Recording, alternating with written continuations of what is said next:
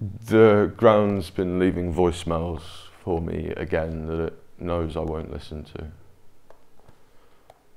I speak to my mum for the first time in months.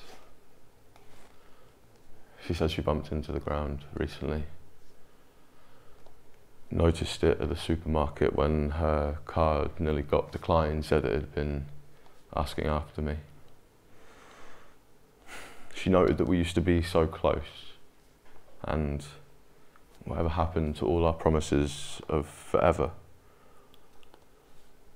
The library has been sending me overdue fines for placebos. Again, I have been keeping them, hoping they will start to take effect any day now. I have this habit of overestimating the stated dose. My doctor offers gravity as a prescription, holds ceilings above my head, teasing treatments when I have asked for cures. My doctor withholds a lot of things this way. Then mimics the voice of rock bottom so articulately, I swear I have to look at the infographic and certificate strewn walls to ensure that I am not, in fact, submerged. And there is reassurance in walls like me that have seen better days. Still here, they take the time to point out that I could have testicular cancer and do I recognise the signs I only read this as a comment on my cowardice and swallow my tongue in a hope for some sustenance. There is a piece of Tuesday embedded wherever my gaze falls.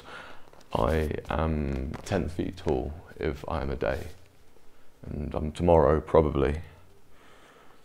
I found ways to open letters that I don't want to read. It involves presumption and getting rid of things before you have to open them.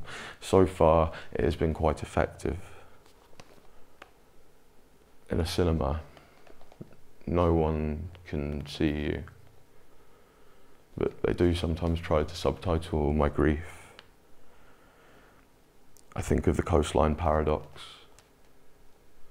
and sandbag the weekend into my jawline, hoping to stop the floods with infinite support. It does little, but it does last long enough to help me find new ways to avoid myself you and the ground used to have a thing, didn't you?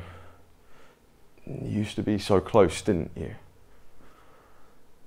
You were something a bit more than what you are now, weren't you? There was a fondness there that bordered on obsession, but I'm hoping that my teeth are cut by keys that will lock the way out of this.